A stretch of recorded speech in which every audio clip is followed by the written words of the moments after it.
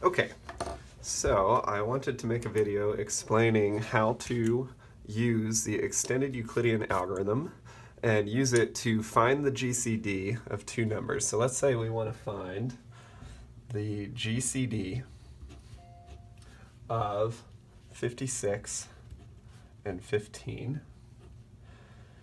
But remember that Bezout's theorem, so for those of you just joining us who aren't taking my class, this is Bezout's theorem. And Bezout's theorem says whenever you're looking for the GCD of two numbers, like 56 and 15, there must always be these integers, let's call them s and t, such that 56 times s plus 15 times t is equal to whatever their GCD is. So this is Bezout's theorem. There has to exist that integer. And that integer, this is actually turns out to be important in computing, for instance, uh, lots of encryption protocols rely on this computation, and so knowing how to find those integers s and t is uh, useful in a lot of contexts. The nice thing is that the normal Euclidean algorithm that calculates, so remember we use the Euclidean algorithm, to calculate the GCD, you can extend it very slightly to also tell you what this S and T are going to be. So this is going to be the extended Euclidean algorithm, and it's a very simple algorithm, algorithm, very easy to follow. And so what I'm going to do is I'm going to show you how to calculate the GCD of 56 and 15 using the extended Euclidean algorithm. So at the end, we will also know the values of S and T. Okay. So let's get a new sheet of paper here. So we start by, uh, it's going to be helpful to build three columns. So in the first column, we're going to run the normal Euclidean algorithm, which I will show you how to do in just a second. In the second column, we're going to rewrite every line from the first column slightly. And in the third column, we're going to build the solution to 56s plus 15t is equal to whatever the GCD is. Okay, so let's see how to do that. So we start, we want, here we're just calculating the GCD of 56 and 15. So we start by putting 56 on one side, setting it equal to 15, and then finding the quotient and remainder of 56 divided by 15.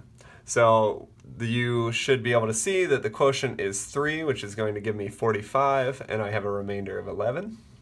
It's going back to your fundamental theorem of fourth grade.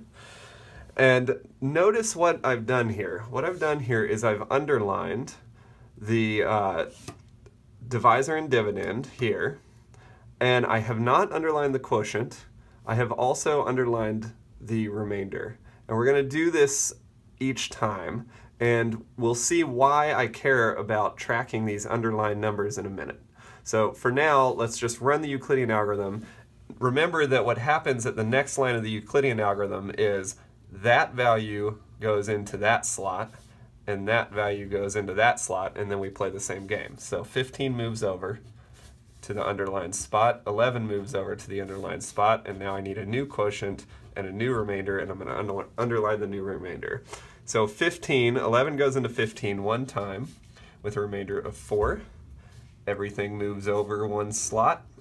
Notice that it's always the underlined things that are moving. The, these ones are just kind of leaving, right? So we have 11 is equal to 4. We need a quotient and a remainder. 4 goes into 11 uh, two times. 2 times 4 is 8 with a remainder of 3.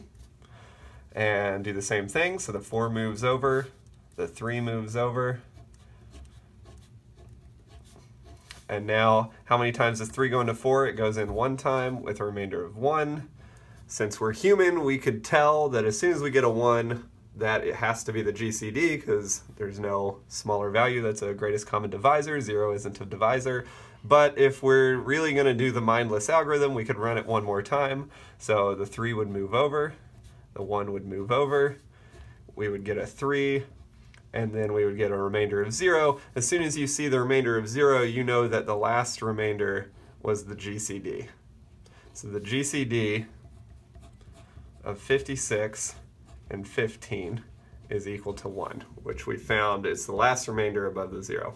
And we're going to just completely ignore this last line. The last line just tells us to stop. Okay. So far, so good. But now what we want to do is rewrite every single line here in terms of the remainder. So right now they're written like 4 is equal to 3 times 1 plus a remainder of 1. What we want to write it as is 1 is equal to 4, and then to move that onto the other side, by algebra I have to subtract, right? So it's going to be 4 minus 3 times 1. And so if you think about it, one way to do this really quickly is to write out the same uh, same equations here, but we're going to leave off the equals and plus for a second. So this is 56 underscore. Do not forget these underscores and make sure you put them in the right place because they're going to be important. 3, 11, right? This one is 15 underscore 11 times 1 plus 4. This one is 11 underscore 4 times 2 and 3. This is 4 underscore 3 times 1 and 1. And now notice, let's look at this for just a second. So let's isolate it down here. We have 4 is equal to 3 times 1 plus 1.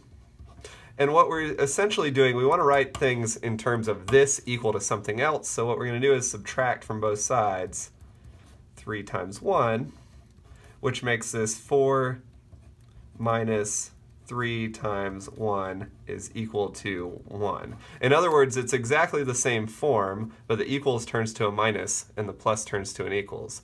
So we can use that to do this next step really quickly. All the equals turn into minuses, and all the pluses turn into equals.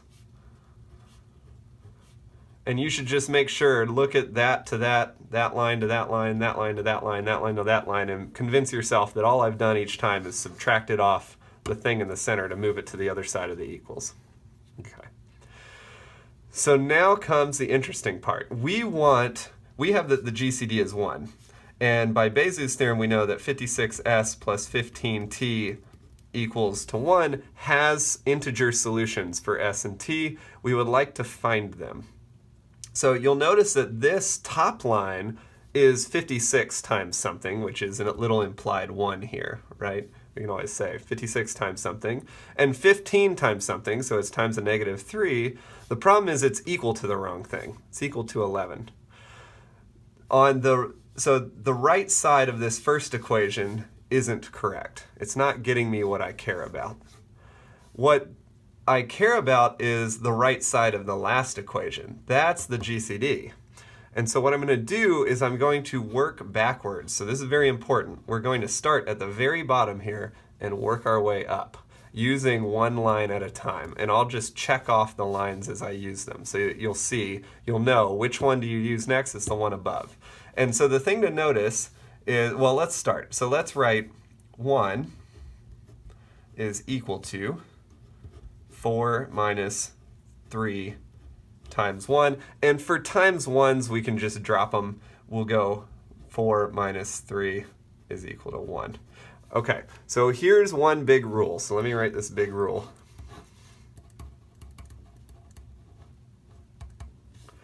Treat underlined things, underlined numbers, like variables. So, what do I mean by that? I mean, notice if I had 2x plus x in an equation and I said simplify that equation, you would say, oh, that's easy. That simplifies to 3 times x because I had two x's and one more x is three x's. We want to do the same thing here, so if I have 2 times 11 and 11's underlined plus 11 and 11's underlined, then what I'm going to do is treat that as three 11's. So I'm never going to multiply an underlined thing through. I'm never going to make this 33 because that would lose the data that I've stored. Think of it as like this underline is preserving that number for me in the computations. And doing this is going to allow us to get an answer here in the end. Because otherwise, what if I started saying, if I just said, okay, well, this is 4 and 3, I'll just go ahead and do the subtraction. What do I get? I get 1 equals 1, which is not very helpful. The reason this is going to be helpful is notice that my underlined things, 4 and 3, I have equations for over here. And so I'm going to rewrite 3 in terms of 11s and 4s in a minute. And then I'm going to rewrite the 4s in terms of 15s and 11s. Then I'm going to rewrite the 11s in terms of 56s and 15s. And at the end, I'll have an equation with 1 on the right side and 56 times something and 15 times something on the left side, which exactly solves what I care about. So this is the trick. You really have to think of these underlines, or you could use a colored pencil for these numbers, but you really need to think of it not as 4, but like x4 and x3 and x1. Like they're new variables and they can't be combined with each other. We're not going to combine them. Okay, so that said, let's, let's play the game. So what do we do? We took the very last line. Last line is important. We're going to go up. We wrote it down over here. And now let me check off. I've used that last line, and now I'm going to go to the second to the last line. And notice that the second to the last line has 3 equal to something and I have a 3 in my equation. So I'm now going to perform the substitution using the last line. So this becomes, the 4 comes down, minus, and instead of 3, I'm going to substitute what I have on the left side of that equation. So it goes 11 minus 4 times 2 is equal to 1. And now let's put the uh, minus sign through. So this becomes 4 minus 11 plus and we can do 2 times 4 is equal to 1. And so notice, and I'll simplify before the next step, we have 1 4 here, two 4s here, so this becomes 3 4s minus 11 is equal to 1. Okay, so far so good. And now I'm done with that line. Now I go up to the next line and notice that the next line is in terms of 4. 4 is equal to something. And so I'm going to take my 4 in this equation and replace it with what it's equal to in this line of the Euclidean algorithm. So this becomes 3 times 15 minus 11, and we'll drop the times 1s. Times 1s are, we can just drop. Uh, so that I replace the 15 minus 11 with the 4 with the 15 minus 11. I still have to bring the rest of my um, equation down, so that's minus 11 is equal to 1. That brings the rest of it down. Multiply the 3 through, so this it means I have 3 15s minus 3 11s minus another, and we might want to put parentheses there, minus another 11 that is equal to 1. And so what do I have? I have 3 15s minus 3 11s minus 1 11, that's minus 4 11. So let's simplify, simplify 3 15s minus 4 11s is equal to 1. And now the final step is to use, so we've used this one. So we're working our way up the chain, and now we're at the very last one.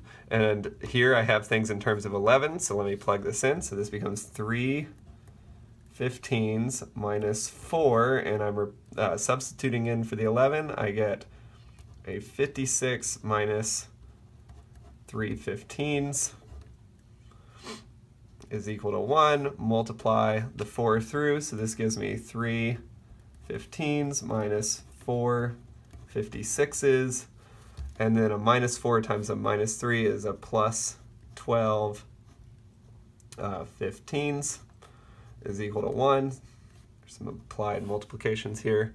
And now I can simplify if I have 3 15s and 12 15s, that becomes 15 15s and this is a minus 4 times 56. And so now I have 56 times a number, which is negative 4, plus 15 times a number, which is 15 again in this case, is equal to 1, and so I've solved it. For this, we have that s is equal to minus 4, and t is equal to 15.